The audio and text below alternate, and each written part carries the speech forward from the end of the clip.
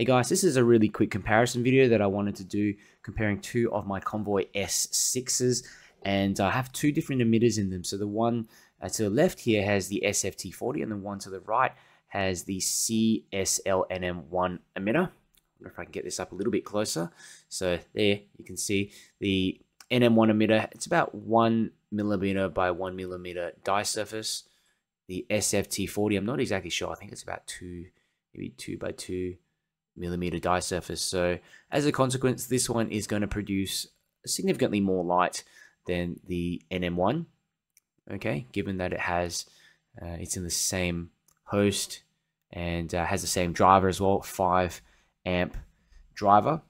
Okay, and uh, what I did is I, I ran some tests um, on my Opple Lightmaster Pro, and I found that the NM1 version throws nearly 500 meters on switch on, by basically about 430 meters with the NM1, and this one with the SFT 40 throws about 380 plus meters. So both very respectable because considering how small these lights are, I mean, look at that, just in the palm, easy to to uh, pocket you know, they didn't come with any clips or anything, just a lanyard attached to the end. And so that's why I've gone, gone ahead and actually added my own clip to this one and uh, metal clip gear as well. So, yeah, suggest you go buy some from Convoy unless you're happy to just carry it around in your pocket loose.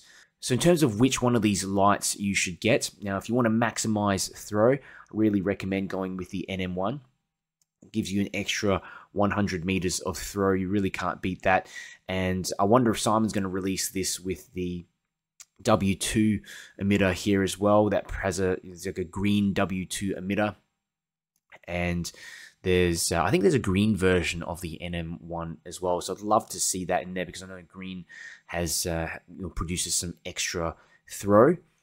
And um, yeah, if you want, I guess the all you know all rounder that uh, produces the most amount of light and significant amounts of throw. I mean, you've got that trusty SFT40.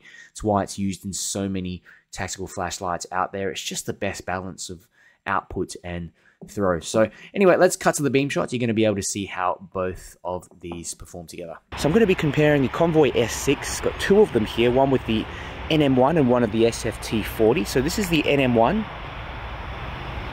very impressive throw. Oh, that pencil thin, that pencil thin beam. Okay, and then on the right here, we've got the SFT40. Okay, NM1, SFT40, and as you can see, the SFT40 produces so much more light. You really can notice that here in camera. It lights up a lot of that field. Okay, and uh, it doesn't throw as far, as you can see, that's the NM1. Really illuminates that trunk of the tree much, much more. So it's good for spotting. Okay, but that SFT40, the amount of light that comes out of this little host is incredible. I'd say like the spill pattern's pretty similar.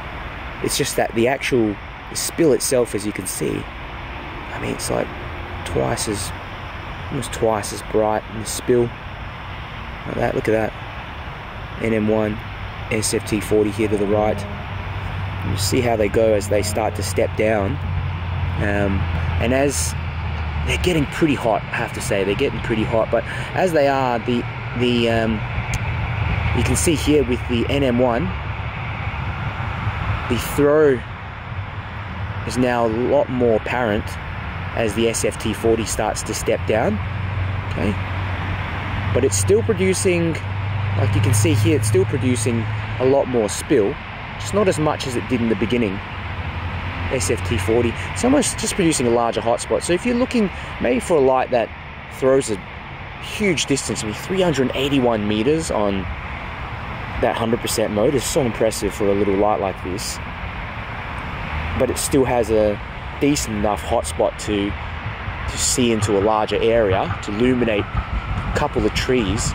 Whereas this one you can just zoom in almost to like a little area of that tree and it illuminates it very well but everything around it you can't see really what's going on. Whereas the SFT40 just has overall better visibility. Um, but that NM1 in there is just so cool. I mean you can't beat that kind of that laser like beam. One of my most favorite LEDs, I have to say.